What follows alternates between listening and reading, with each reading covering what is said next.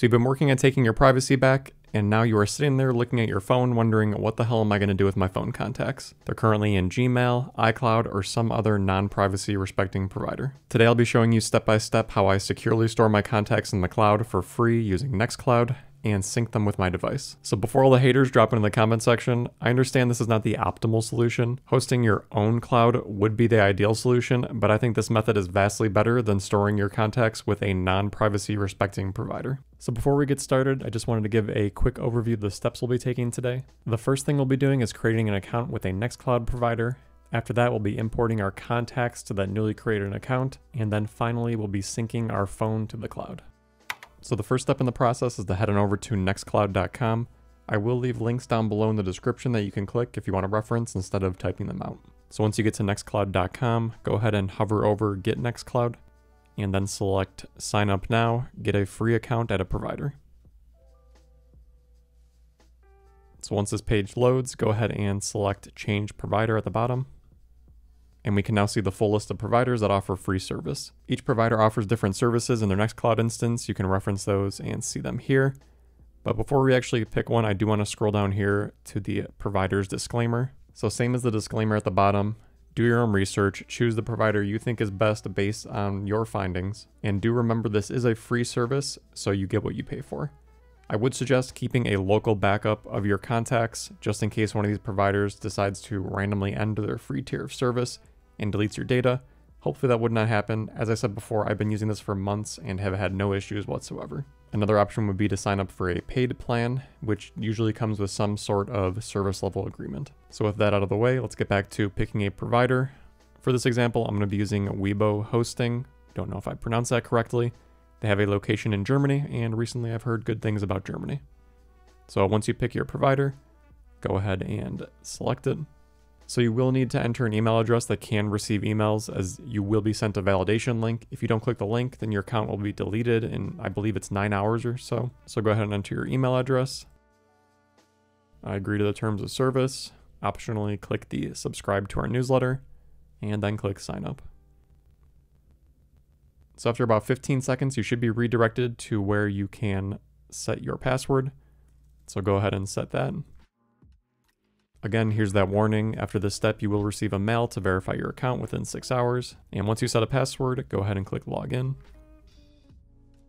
And at this point, you have now successfully created an account and logged into Nextcloud. You can go ahead and click the little X in the top right hand corner, or you can go through the slides for a quick tutorial. So Nextcloud offers more than just contact storage. They have calendar, file storage, all sorts of different things. There is some documentation that comes in here by default, which I would suggest you read through and check out. It is free and open source software, so that means you can install it locally on your system at no cost and run your own instance of Nextcloud as well. But that's a topic for a different video. So as expected, there are no contacts yet. If there were, that would be kind of creepy. So now we have our hosting provider selected. The next step is to actually import our contacts. I'm going to be importing my contacts from a VCF file. The extension VCF stands for Variant Call Format. So wherever you currently have your contacts stored, they should allow you to export in this format or a similar one that can be imported to Nextcloud. I'll also leave some links down below in the description on how to export your contacts from popular providers such as Apple and Google. So once you have your VCF file and you are ready to import it, go ahead and click Settings. At the bottom here, click Import Contacts. I'll be importing my contacts from a local file, but you can also import from a file you have stored in Nextcloud. So go ahead and click select local file, then browse to where you have that stored. Here's my file, personal.vcf. Select open. I have two contacts in here. Once that's completed, click close. So once the contacts are imported, you can go ahead and click them to make sure everything imported correctly and looks as you would expect. So now that we have successfully imported our contacts to Nextcloud, the next step is to install the Sync app on our device. So for that, we're going to be using an app called DavX5. I hope I pronounced that correctly. You can download it from Google Play, Aurora Store, or using F-Droid. My preferred method for downloading the app is using F-Droid, as I believe you need to pay $4.99 if you download it in Aurora Store or Google Play. So to download the app, we're going to swipe up, go into F-Droid, click the search button, look for DavX5. You should see it here with the green icon. Select that, click install, select install. Once the app is installed, go ahead and open it. We're going to walk through the initial setup next. For this example, we're not going to be setting up tasks, so I'm going to go ahead and select I don't need task support. Next. Again, in this example, I'm just showing how to set up contacts. So I'm only going to allow contacts permission. Select allow. Next. I would suggest enabling this. This just lets DavX sync regularly with our Nextcloud instance. But that is up to you. Once you enable that, click next. This next screen is about contributing to DavX5, which is open source. If you do use the app and enjoy it, I would suggest contributing if you do have the means. Click the check mark. So now that we've installed the app and walked through the initial setup, the next step is to set up syncing with Nextcloud. So for that, we're going to click the orange plus in the bottom right hand corner.